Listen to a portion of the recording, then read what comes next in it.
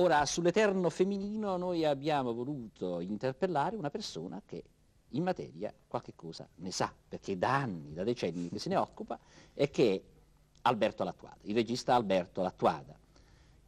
Perché non hai mai pensato a fare una Lulu a cinema? Sì, hai ragione. Forse è l'ombra di Pabst che ha dato al cinema una Lulu perfetta, secondo me, che Perché tu hai visto, hai visto, la Lulu di Pabst da, sì, da giovanissimo. L'ho vista e rivista diverse volte e la, la maschera di Louis Brooks è indimenticabile ed è perfetta.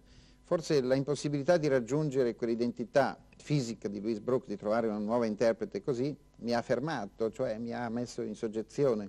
Certo il personaggio, trattato da Wedekind con una forza che direi da, da, da fotoromanzo e poi ti spiego perché uso questa parola, perché è, procede per colpi rapidi, per esemplificazioni di caratteri che sono eccezionalmente attraenti e direi per contraddire Goethe che il vaso di Pandora va giù e su, non va soltanto verso l'alto, va anche verso il basso. Ma tu non hai paura di usare la parola fotoromanzo quando i critici dicono che uno dei tuoi primissimi film, Anna, è uno dei tuoi, l'ultimo, quello che si chiama eh, La Cicala, la che cicala, sugli schermi sì. adesso sono dei fotoromanzi, tu non ti offendi? No, perché io ho voluto di proposito trattare il racconto con una successione incalzante di fatti e avere un piacere visivo molto più forte che non il torrente di parole che in genere adesso occupa gli schermi e, entra nelle psicologie, eccetera. Ho voluto dare con eh, appunto questa voglia di descrivere rapidamente e molte cose condensate in poco tempo, e quindi mi è venuto spontaneo di chiamarlo fotoromanzo, per la semplicità del racconto. Sono 30 anni adesso, sono più di 30 anni eh, eh probabilmente. Qualcuno tu, anche di più. Qualcuno anche di più, che tu fai dei film e svesti delle donne. Un modo rapido di presentare la cosa, beh è così. A furia di fare film, di presentare delle donne e delle ragazze per lo più e di svestirle. L'eterno femminino, questo eterno femminino così antico di nascita, è cambiato o no? Ma io intanto voglio precisare che le svesto quando è necessario, perché sennò sembra che semplicemente io faccia un'operazione di voyeurismo, cioè di guardone. Viceversa no, tutti i personaggi che si sono spogliati si sono spogliati perché dovevano farlo, perché la storia lo voleva. E detto questo, l'Eterno Femminile si è cambiato. Beh, sono cambiate alternativamente le forme, un po' come le gonne che si alzano e si accorciano, così le forme ad anfora dell'Ottocento, con i fianchi larghi, sono diventate mascoline, sono andate verso una, una, eh, fianchi stretti, seni piccoli, eh, hanno raggiunto quasi eh, il momento dei modelli di Klimt, de, dell'espressionismo. Ma Poi io dicevo nel, modo, nel suo modo di rapportarsi a noi, le donne nel loro modo di comportarsi Beh, con l'altra metà del mondo, quella maschile, negli sono, ultimi 15 anni, diciamo, sono cambiate o no? Sono cambiate per una conquistata... In meglio o in peggio? Sono cambiate in meglio, per una conquistata libertà. Libertà che nel disordine della prima conquista di questa grande libertà ha creato anche qualche squilibrio, qualche eccesso.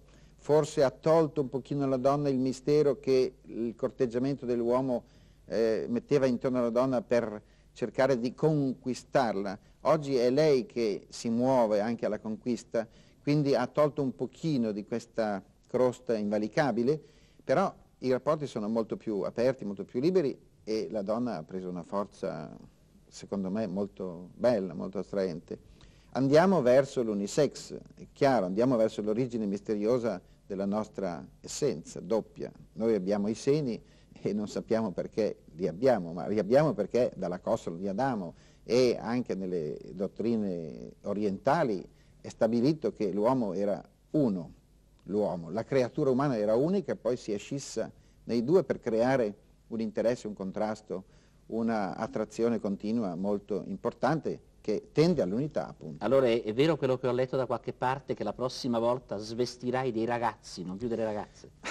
Svestirò, no, presenterò dei caratteri maschili, forse nel momento interessante della trasformazione dall'adolescenza in, in giovane. Sì, è probabile, sì. Tu ti sei difeso poco fa di fronte a questa storia dello svestire, però non vedo perché, perché poi Racconti diario di un sì. grande amatore, il titolo mi pare del tuo prossimo libro, che è scritto in tedesco se non sbaglio. No, c'è un frammento, eh, c'è un frammento di un personaggio Nella, nel primo racconto che è umoristico, è un po' una presa in giro, anche il titolo è, è un'auto-ironia, Diario del grande amatore, firmato da me, vuol dire che io rido un po' su questa cosa.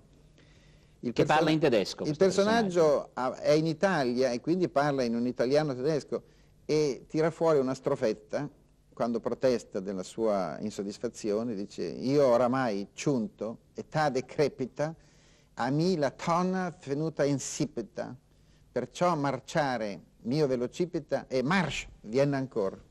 Allora, quest'età decrepita, eh, tu sei lontanissimo da, da, Ti ringrazio. dall'età decrepita. Arriva galoppando. Da, dall'età decrepita, però c'è un problema. Se posso, se posso rivelare agli, agli, spettatori una cosa che una volta mi hai confidato in privato, e cioè che per riprendere bene, per svestire bene una donna a cinema, bisogna desiderarla e non averla.